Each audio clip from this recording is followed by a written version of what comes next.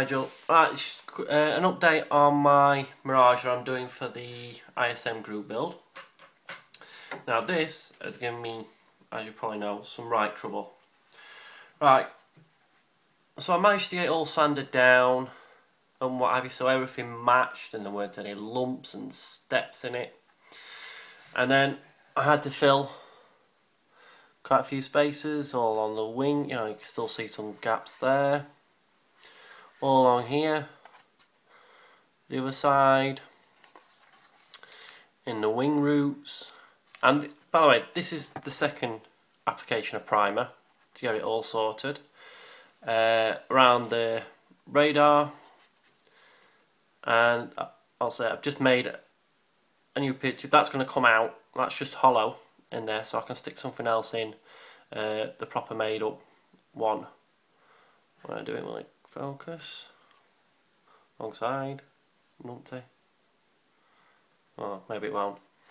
But yeah, so that is basically ready for me to try and just not rescribe the lines but get the paint out on what have you where I had rescribed it. But obviously I've had to sand it down quite a lot. Can you get that? there we are.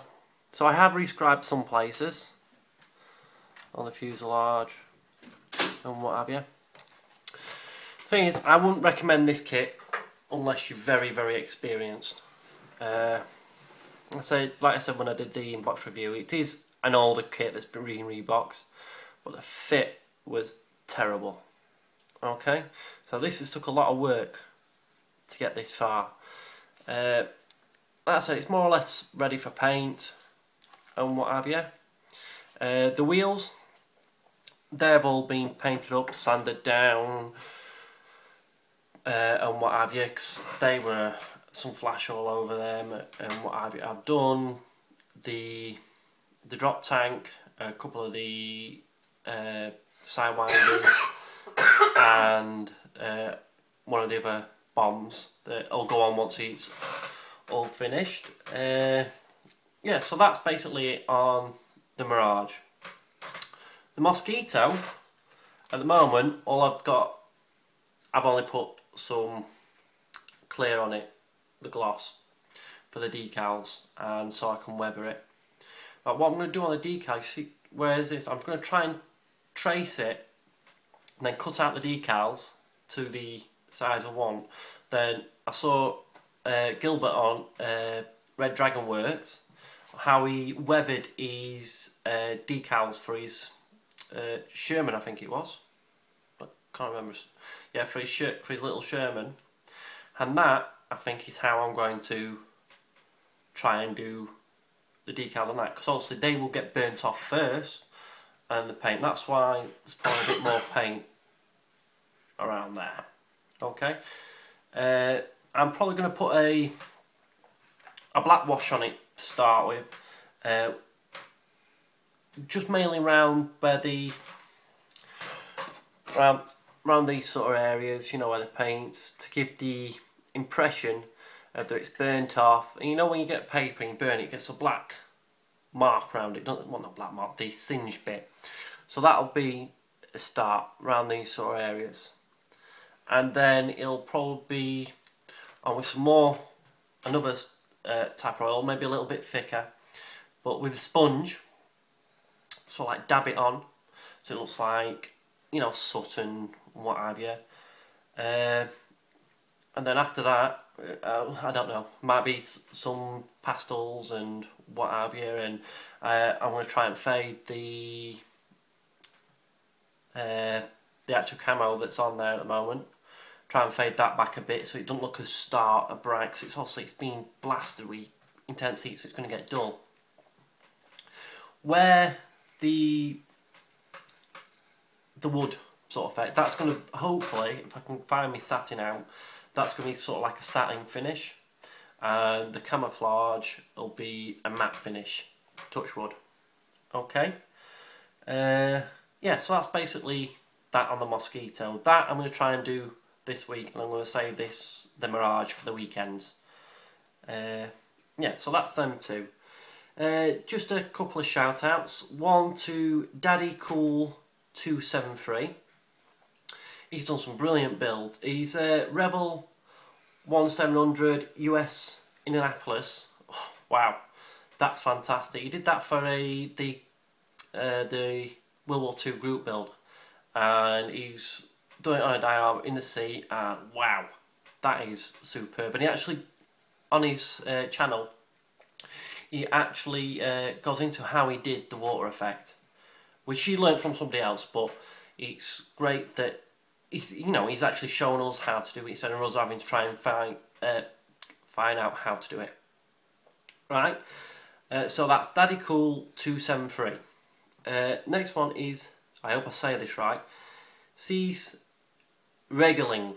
I think he's uh, from Sweden or somewhere like that and that's C E E S R E G E L I N G.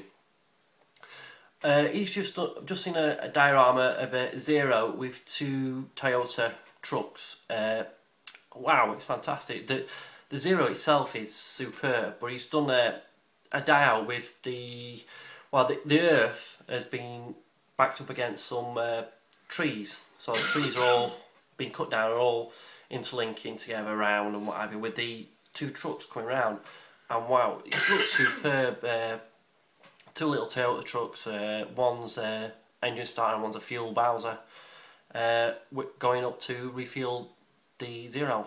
And it is it's it's absolutely brilliant. Really is really good. So yeah check those two out because uh, I've, you know they deserve a mention they deserve uh, as watching those videos because some of them are brilliant. And just a quick one for Cohen. Thank you for the shout out the other day, mate. Uh, like I said, in this in the school at the moment, I think they're just waiting for them to get delivered. But hopefully, I'll be finished my course early on Friday, so I can uh, I might be able to get ask ask them how it's going and what have you. But we'll if once uh, I found out what's happening, I'll I'll let you lads know how it's going on. And just another quick one. I've got an, an idea for a, a group build here on YouTube. Just phone slipping. Stay. Uh, so I'm just going to find out, this out there and see see what you think. And if anybody's interested, let me know. I'm thinking about starting November, December time. Also, I've got to get these two finished. Uh, and then we'll see where we are. What have you, okay? Uh, I'm actually thinking of maybe a North African campaign, you know, Second World War, nine, uh, June 1940 till uh, May 1943, and it can be anything. If it flew, if it drove, if it, whatever, infantry, ships, if they were out there and what have you. As long as it served during that period, June 1940 to May 1943, in North Africa, uh, we'll get it a go. So just let me know who's interested. If we get enough interested, we'll uh, have a look at, you know, seeing what we can do. Alright, because I think I'm going to do the uh, the kitty Italeri kitty hut that I've got upstairs in my bedroom.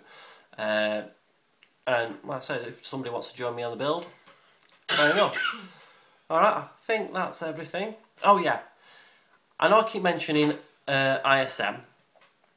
Down the bottom in the description part, there's a link and every single one of my videos to ISM. So click on it and it should take you straight there. Go and check it out. Even if you just have a look and what have you. If it's not for you, it's fair enough. Uh, as Colin said the other night, it's it's a brilliant forum that it's like, you know, a group of lads have just got together and, you know, might not be drinking, but, you know, have met in a pub and, but we're talking through the computers and what have you. It's, you know, a, a good group of, group of lads and I think it's uh, up to about 830. So go and check it out. If like I said, if it's not for you, it's fair enough. But yeah, it's cracking. All right, and I think I think that's it. All right, so I will see you on my next video, which hopefully might be once I've got the decals on the mosquito. So that's going to be. Uh, I'm going to do it next couple of nights uh, if I'm up to it after my course. All right. So I'll see you later. Ta-ra for now. Bye.